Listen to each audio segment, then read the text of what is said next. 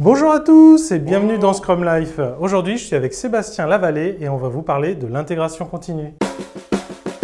Alors, euh, brièvement, Sébastien, avant de commencer, est-ce que tu peux t'introduire?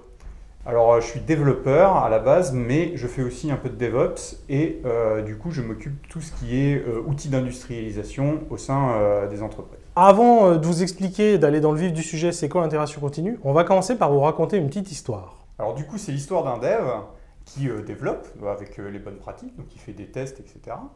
Et quand il MEP, eh ben, ça ne marche pas. Bah, bah pourquoi ça marche pas, Sébastien? C'est très simple. C'est parce que quand il a fait ses tests, il n'a pas vérifié qu'il passait bien au vert. Pourquoi il les a fait alors ces tests? Parce qu'il fallait les faire. Ah Donc du coup, il lui servent à rien. Et bah, il n'a pas forcément vérifié en étant assidu leur exécution et est-ce qu'ils passaient bien tous? Ouais, mais ok, mais admettons, en plus, le mec, il est quand même rigoureux, il les a vérifiés. Est-ce que ça peut quand même arriver que ça pète? Bah ouais, ça peut arriver parce que si jamais il y a d'autres briques qui interagissent avec euh, son développement et qui, elles, avaient bah, un petit changement, et ben ça peut éclater. Du coup, mais qu'est-ce qu'il faudrait faire? Eh bien, il faudrait que ces tests puissent être exécutés automatiquement à chaque fois que le développeur en fait euh, ses développements. Et là, il serait sûr que pour lui et pour les autres, les tests passent au vert. Le travail de vérifier, euh, j'ai codé une fonctionnalité et je vérifie qu'elle marche, en fait, c'est c'est de l'intégration. Je vérifie que tous les blocs ils marchent bien ensemble. Donc, c'est ce que font tous ces tests-là qu'on écrit. On vérifie que tout s'intègre bien ensemble, mais l'idée, c'est de le faire en continu. Bah, donc Sébastien, on va essayer de voir un peu plus dans le détail comment ça se passe. Donc je pense que tout commence par, par le code, par le code source. Donc c'est dans un, genre de truc qui s'appelle Git. Généralement, quand on développe, on push notre code euh, sur Git. Et euh, après, on peut avoir des interfaces un peu plus sympas qui vont nous permettre de faire des choses supplémentaires. Donc des outils comme GitLab ou GitHub. Ces repositories, euh, qui vont contenir le code, ils vont pouvoir euh, déclencher en fait euh, des builds pour pouvoir euh, lancer ces tests. Et donc du coup, par exemple, euh, lancer ces tests-là, soit sur du GitLab CI, soit sur du Jenkins. On a nos exécuteurs ici.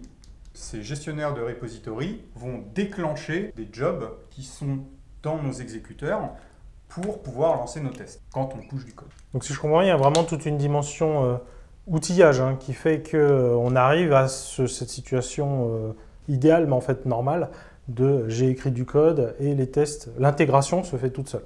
Exactement. À partir de ce moment-là, dans l'exécuteur, on peut paramétrer un peu ce qu'on veut. Et donc on peut lui dire d'exécuter nos tests unitaires. Donc Donc les, les tests unitaires, hein, tu me corriges, c'est euh, vraiment des morceaux de, de tests sur des morceaux de code très très très petits. Et normalement, on a une très très bonne couverture de tests unitaires. C'est Oui. des tests qui sont faciles à mettre en place, qui coûtent pas cher. Donc c'est un peu la, la base de l'intégration continue. Exactement, c'est un peu la base de la base et euh, généralement dans les projets on commence par ça, par les tests unitaires avant de vouloir faire des tests un peu plus étendus. Après que ces tests ont été exécutés, notre exécuteur va donner des feedbacks du coup à notre gestionnaire euh, de code et c'est à cet endroit-là qu'on va pouvoir afficher si les tests ont réussi ou si les tests ont échoué. Donc, Très simple, ça, ou bien, bien sûr, c'est rouge. Si c'est vert, euh, tout va bien, on est content. Par contre, si c'est rouge, Eh bien, ça veut dire qu'il y a quelque chose qui ne va pas et qu'il va falloir investiguer pour savoir qu'est-ce qui ne va pas dans ce qu'on a développé ou dans les tests qui ont été effectués. Peut-être que les tests ne sont pas adaptés. Et il va falloir corriger ça avant de poursuivre notre développement. c'est ça. En l'occurrence, ça bloque tout le process. Exactement. On est, on n'a juste pas le droit de euh, mettre en production, d'aller plus loin dans le build quand on a des tests en rouge. Et il y a quelque chose que je trouve intéressant, ce que tu as dit, tu as parlé de feedback. Donc là, on, est, on parle à un niveau très, euh, effectivement, euh, qualité, éviter des problèmes, simplement, on ne met pas n'importe quoi en prod. Mais en fait, cette boucle de feedback, elle est aussi très utile pour le développeur, simplement pour développer vite, en fait. Oui, ça lui permet euh, de passer en fait cette étape d'exécution des tests quand il développe.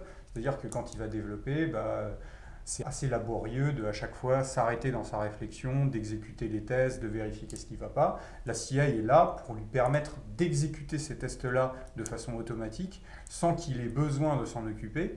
Et du coup, il va pouvoir aller consulter en fait les résultats euh, au fur et à mesure sans avoir euh, justement à se préoccuper de ça. Ce qui se passe, c'est que donc là, quand le développeur il travaille dans Git, finalement, de tout l'ensemble du produit, il travaille juste sur un morceau. Et finalement, c'est pareil, dans l'ensemble des tests qu'on a, il y a juste ce morceau-là qui teste ça. Donc c'est pour ça que tu dis qu'il y a cette sécurité-là, c'est que le développeur, évidemment, n'attend pas l'intégration continue pour lancer les tests, mais il ne va pas les lancer sur l'ensemble du projet. C'est pour ça qu'on en revient sur intégration. Le fait de vérifier que tout marche ensemble, là on est content d'avoir l'intégration continue qui vérifie ça. Et, euh, et c'est pour ça qu'il ne les lance pas en fait. Bien sûr qu'il les lance, mais il les lance sur le morceau auquel il touche. Mais donc du coup, j'imagine que dans une, dans une vraie stratégie, on a plus que les tests unitaires. On peut bien sûr avoir des tests qui couvrent l'ensemble de notre application, donc euh, plutôt sous la forme de tests d'intégration. Et euh, ces tests-là, bien sûr, euh, mettent plus de temps à s'exécuter. C'est beaucoup plus laborieux pour le développeur d'exécuter ça à chaque fois qu'il fait des modifications dans son code. Et donc du coup, la CI est là pour permettre d'exécuter ça. Ça prendra plus de temps, il aura un feedback un petit peu plus tard, mais au moins il pourra continuer à faire d'autres choses euh, en attendant. Et après, bien sûr, on peut aller au-delà, mettre euh, des tests euh, fonctionnels sur l'ensemble des applications. Si par exemple on a plusieurs briques qui interagissent entre elles, on peut aller vraiment sur des tests end-to-end. Et bien sûr, ça, c'est des tests qui prennent plus de temps, qui sont plus lourds à mettre en place, compliqué pour un développeur d'exécuter ça sur sa machine en local. La CI lui permet d'exécuter ça assez facilement. Justement, je reviens sur ce que tu disais encore une fois de feedback. J'aime bien parler de feedback. Euh, effectivement, dans l'idée là, les tests qui sont lancés en local, on est dans l'ordre de, la seconde ou de quelques secondes. Effectivement, les, premiers niveaux de l'intégration continue, on va être dans l'ordre de quelques minutes, peut-être 10-12 minutes. 15 minutes, c'est déjà trop long. Et après, effectivement, il y a peut-être le tout dernier niveau qui est on met en prod. Et où là, euh, bah, selon, euh, selon la complexité de l'outil et jusqu'à quel point on y va, ça peut même prendre des heures en fait, de lancer tous les deux tests assez coûteux qui, prennent toute la stack. Et on peut même après euh, avoir des stratégies de fractionnement de ces tests si vraiment ça dure trop longtemps. Notamment quand on arrive sur des tests très haut niveau, il y a aussi des problématiques qui ne sont pas évidentes à faire pour le développeur sur son poste, notamment tout ce qui va être compatibilité en fait. On fait un site web, ce site web il doit tourner sur différents browsers ou différents devices, hein, si on est sur une appli native, etc. Donc c'est pareil, en fait, la personne, elle n'a pas forcément ça sur son poste, ou elle n'a pas l'envie ou le, temps de faire la combinatoire de 15 browsers à la suite. Donc c'est aussi dans, dans, ce contexte-là qu'on est content de les faire lancer par, l'intégration continue. Il y a aussi un autre, un autre mot-clé, un autre buzzword, c'est le, continuous delivery, la, la, livraison en continu. C'est quoi brièvement et est-ce qu'il y a un lien avec, avec tout ça, avec l'intégration continue? Il y a deux grandes pratiques de développement. Il y a soit le fait de faire des gros packages de développement puis de les mettre en production, donc ça c'est plutôt la façon de tourner en, comme on appelle en release, ou mhm. bien le continuous delivery qui est de mettre en production au fur et à mesure de tout ce qu'on développe, parce qu'au final chacun de nos développements est indépendant, et puis c'est que des petites modifications par petites itérations, et ben c'est parfaitement adapté pour avoir un flow de euh, continuous delivery. Et en fait, notre exécuteur, il aurait juste à rajouter en fait la création de l'artefact de code prêt à être mis en production, et on pourrait mettre en production cet artefact-là immédiatement. Et bien sûr, cet artefact-là n'est créé que si tous nos tests passent vers. Aujourd'hui, c'est juste pas envisageable en fait de travailler sans intégration continue. Euh, Est-ce qu'on peut rappeler pourquoi? Travailler sans intégration continue, ça marche bien sur des petits projets et encore. Au bout d'un moment, généralement, les développeurs se lassent de tout le temps lancer les tests. Le fait d'avoir une euh, CI qui exécute en fait euh, ces tests en permanence, elle, elle ne se lasse jamais. On a quelque chose sur lequel se reposer et on est sûr que ce qu'on va développer a moins de chances de casser quelque chose en production.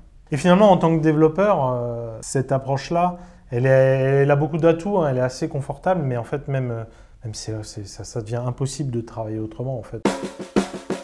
Et voilà, cet épisode de Scrum Life est terminé. J'espère que ça vous aura été utile. Je remercie bien sûr Sébastien pour ses explications d'expert sur le sujet.